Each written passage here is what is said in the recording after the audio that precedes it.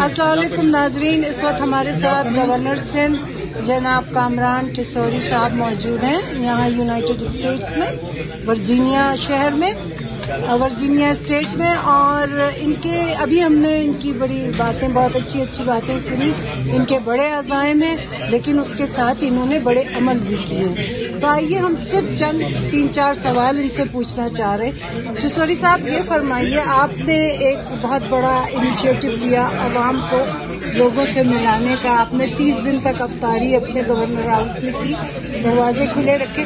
क्या पहली चीज़ ये क्या आपको कोई खतरा महसूस नहीं हुआ? और दूसरी चीज़ ये कि क्या उसमें आपने दूसरे पॉलिटिशियंस को भी बुलाया कि वो आवाम से रबते में रहें उनसे बात करें?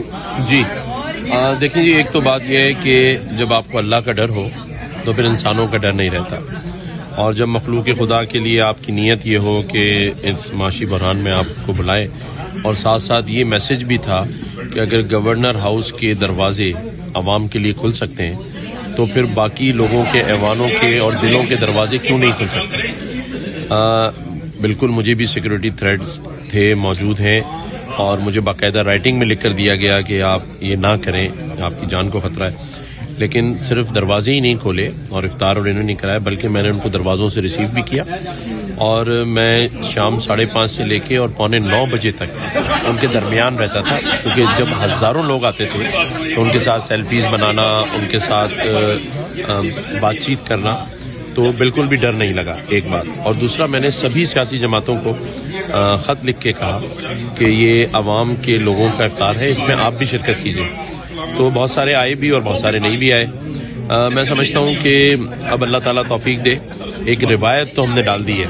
और अब जो आने वाले जो भी होंगे या जो आज भी मौजूदा हैं लोग उसको डिमांड कर रहे हैं कि जब गवर्नर हाउस में गवर्नर साहब दरवाजे खोल सकते हैं, उनके साथ बैठ सकते हैं और फिर रातों को शहरियों में जाके लियारी और लियाताबाद औरंगी, कोरंगी, कोई ऐसा इलाका नहीं है कराची का जहाँ हमने रोड पे बैठ के सैरी ना की हो, रात चार चार बजे तक। तो ये भी अब लोग पूछ रहे हैं कि अब सिक्योरिटी थ्रेट अगर होता तो फिर गवर्नर साहब रोड पे बैठे हैं और अल्हम्दुलिल्लाह, अल्लाह ताला ने बड़ी आफियत और सातों खैरियत के साथ ये तीसों रमज़ान गुजार दिए।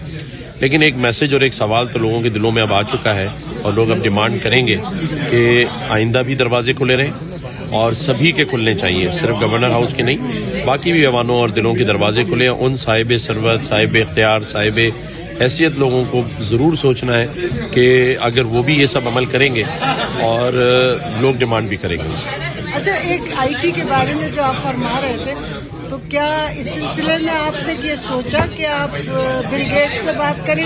जी। वो कुछ इन्वेस्टमेंट करें कराची में? आ, दो चीज़ें हमने की हैं। हमारी टीम के कुछ लोग बिल गेट्स की कंपनी से बात कर रहे हैं। एक तो मैं ये चाहता था कि जो लैपटॉप कराची में डेढ़ से पौने दो लाख रुपए का है वो हमें 80 डॉलर में दें, क्योंकि उन्होंने इंडिया में एक सिटी के अंदर 100 डॉलर में दिया है जो कि वहाँ डेढ़ से पौने दो लाख रुपए का। और जिस तरह हम पचास हज़ार लोगों को आईटी के मुफ़्त कोर्सेज करा रहे हैं तो ज़ाहिर है ये वो लोग हैं जो आईटी के कोर्सेज करना अफोर्ड नहीं कर सकते तो ज़ाहिर है फिर इनको लैपटॉप भी अफोर्ड नहीं कर सकेंगे। तो हमने कराची में अभी एक प्रोग्राम में तकरीबन सौ के करीब लैपटॉप हमारे जो जफ़र भाई हैं जीडीसी वाले और डेल कंपनी के जो मुजम्मिल भाई हैं, उनके ताउन से लोगों को दिए भी हैं। लेकिन मैं वाकई ये चाहता हूँ कि अगर बिल गेट्स आपकी कंपनी से हमें इस डिस्काउंट रेट के ऊपर लैपटॉप मिल जाए एक लाख के करीब तो इन लोगों को जिनको हम कोर्सेज करा रहे हैं फ़र्स्ट बैच जो पचास हज़ार का है और सेकंड भी पचास हज़ार का है तो कम से कम एक लाख लैपटॉप इन लोगों को दिए जाए। अच्छा ये बताइए, आखिर में मैं ये पूछना चाहूँगी कि सिंध के नौजवान हैं हमारे मैं खास तौर से सहाफ़ी लोगों के बारे में सवाल करूँगी क्योंकि मैं उनकी ट्रेनिंग भी करवाती रही हूँ। ऑनलाइन सिंधी जबान में मैंने करवाई है। अच्छा जी तो अली उसी में थे अली भी उसमें शामिल थे अकबर से भी बात हुई थी। हम्म। तो आप ये फरमाइए कि इन नौजवानों के लिए उनको बेहतर मजीद तालीम के लिए क्या कोई ऐसा इनिशिएटिव है कि उन बच्चों को उन लड़कों को या लड़कियों को यहाँ भेजा जाए या इंग्लैंड या यूरोप में कहीं?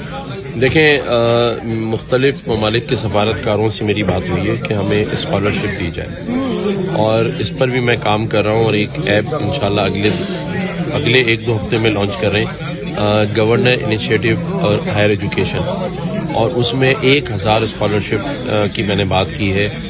सिंध की यूनिवर्सिटीज़ भी स्कॉलरशिप देने के लिए मुझे तैयार है। यूके से सौ स्कॉलरशिप की ऑफ़र आ चुकी है और हंड्रेड परसेंट स्कॉलरशिप है। और इंशाल्लाह मेरिट के ऊपर चाहे वो सिंध में रहने वाला कोई भी जबान बोलता हो उसे हम देंगे। देखें यही तो काम है जो हमें करने चाहिए असल में। आ, और जब आप एक दफ़ा मखलूक खुदा की खदमत और उसके काम आने की बात सोच लें तो फिर आप खुद ढूंढते हैं नए नए इनिशिएटिव कि कहाँ हम लोगों के लिए कुछ कर सकते हैं। तो मैं समझता हूँ ये बात आपने जो की है, इस पर हम काम कर रहे हैं, लेकिन और मजीद इन ताला इस पर काम करेंगे। और उन नौजवानों को जो टैलेंटेड हैं, पढ़ना चाहते हैं और माशी हालात की वजह से नहीं पढ़ सकते, उनको हम हंड्रेड परसेंट स्कॉलरशिप देंगे। बहुत शुक्रिया